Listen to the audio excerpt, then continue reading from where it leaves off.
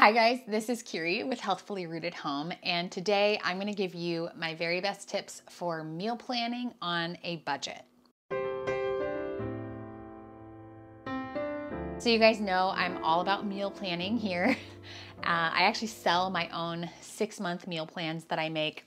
But today I want to tell you how you can specifically meal plan while working within a budget. Whatever your budget may be, these tips will help you to stretch that dollar a little further because grocery prices right now are insane. so let's get right into these tips. Okay, my first tip comes from my competitive nature.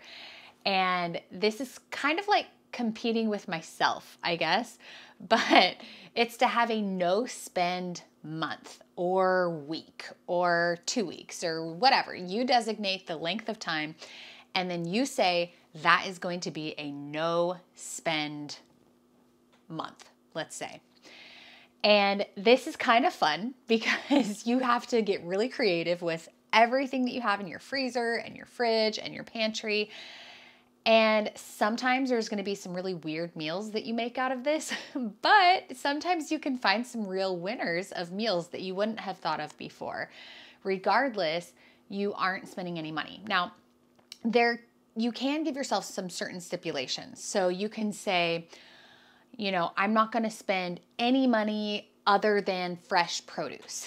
You know, that you can you decide the rules, but um, basically just having a no spend length of time, you can really stretch your dollar. The next one, this is a very obvious one, but each week go through your fridge and make meals out of what you already have. So, in the meal plans that I sell, I leave several days throughout the week of leeway where you can either use up leftovers that you have or you know make a special meal or go out to eat um, but this is often the time where i go through our fridge and i just clean it out and i we call it a hodgepodge night where we just have a hodgepodge of all the leftovers we have or any of the weird things that we need to get rid of. So go through your fridge and see what you can make with what you have. Now, you could do this, you know, at the end of the week, so like your last few days of the week,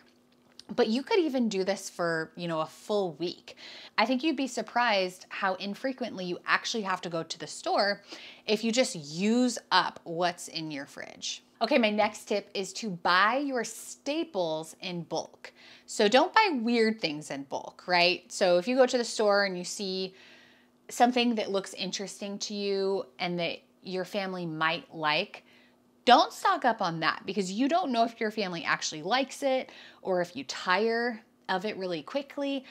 Um, but things that your family uses on a daily basis, you know, butter, um, rice, flour, whatever it is that your family uses frequently, if you see those items on sale, stock up on those. But if you see something that might look good that's on sale and you're just stocking up because it's on sale, but you don't actually know if you like it, don't do that. My next meal planning on a budget tip is to be more flexible with your meal plan. So let's say you have a meal plan that you really like to stick to, um, or let's say you have themed nights that you really like to stick to Taco Tuesday, Soupy Sunday, things like that.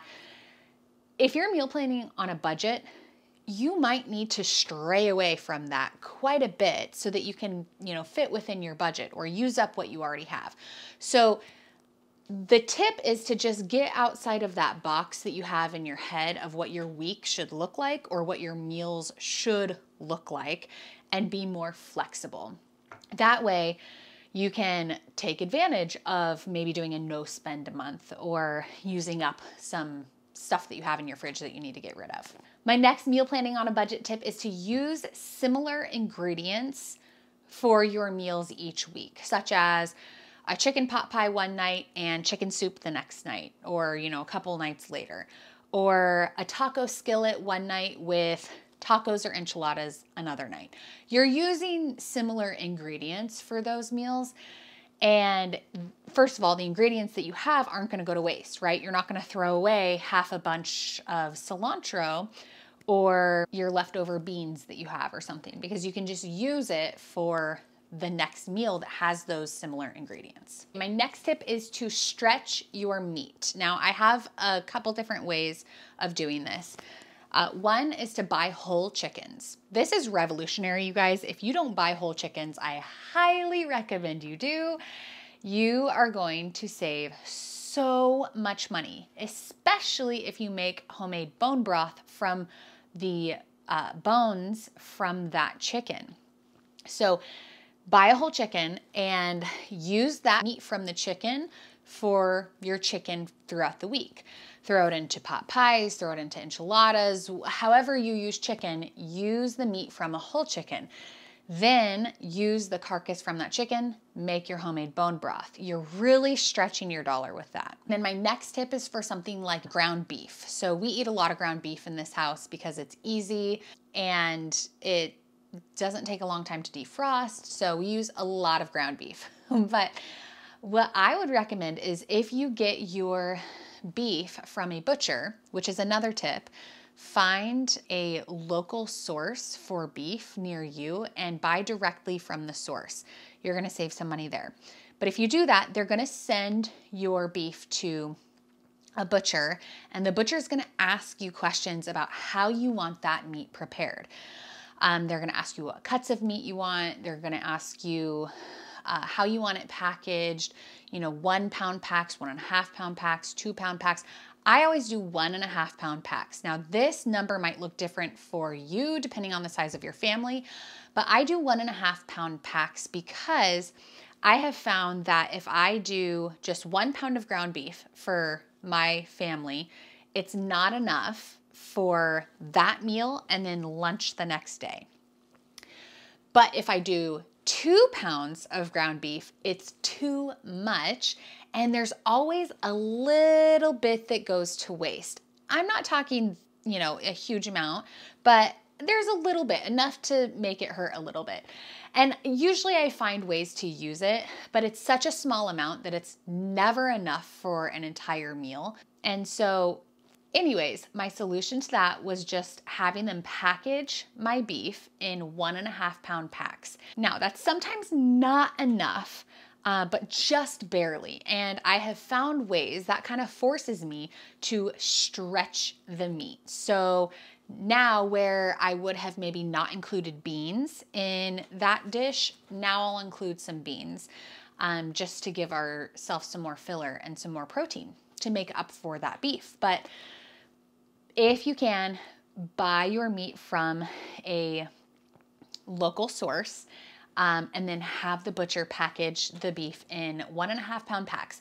That may look different to you. Like, let's say you have a large family and you need two and a half pound packs.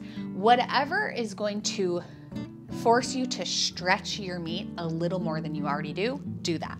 This video is sponsored by my own six month meal plans. These meal plans are perfect for working parents, stay at home moms, or just generally people who are busy or in a dinner rut and want new mealtime inspiration.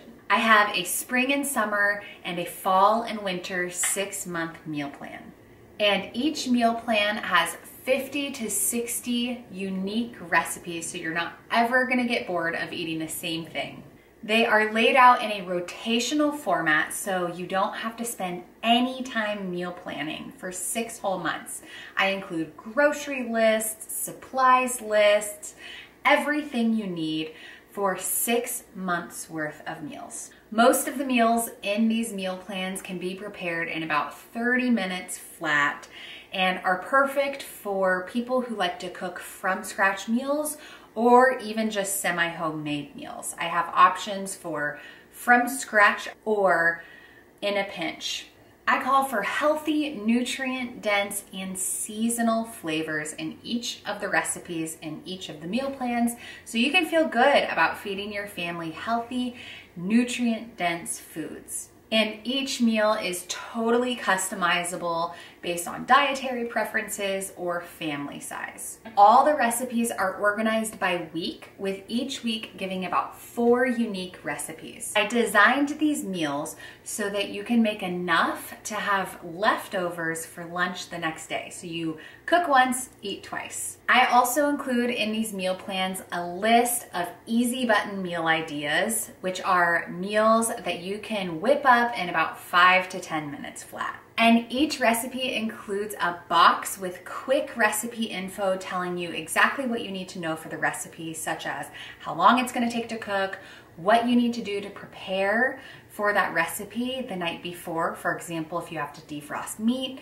I put that in that little section. So if you wanna feed your family healthy and wholesome meals every night without having to meal plan for six months, check the description box below to check out my six month meal plan. Next tip is to have easy meals on hand or quick finishers to a meal. So, an example of this would be to keep some canned soup on hand. Uh, not only is it just a super easy meal, but let's say all you have are like pantry staples, and but you can make a loaf of sourdough bread perfect. Your meal could be a loaf of sourdough bread and some canned soup that you have in your pantry, and you don't have to make a trip out to the store. You don't have to go out to eat because you do have what you need right there.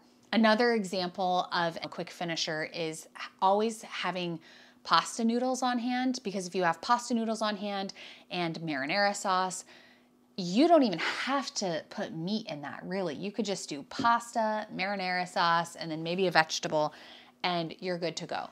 Um, so just have easy, quick finishers on hand. That leads me into my next tip, which is to learn how to bake your own bread.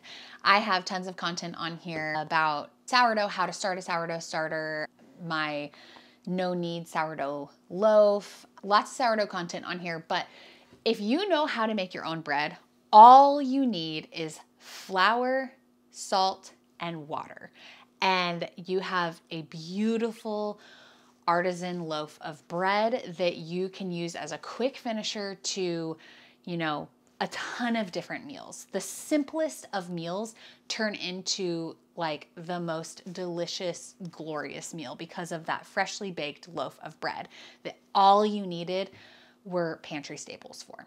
That leads me into my next tip, which is to always have pantry staples on hand. So, I think I kind of alluded to this earlier, but it's so important. If you have a fully stocked pantry, which I have tons of videos on my pantry, keeping a fully stocked pantry, all of that.